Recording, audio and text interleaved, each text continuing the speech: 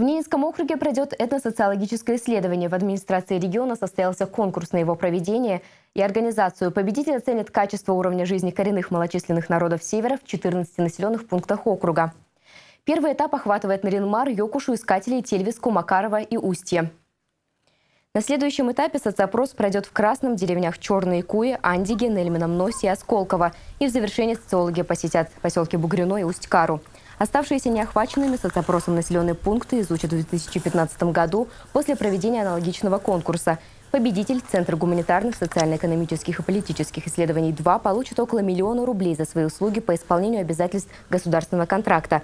Результаты исследования станут основой для создания государственной информационной системы социально-экономического положения коренных малочисленных народов Севера в Ненецком округе.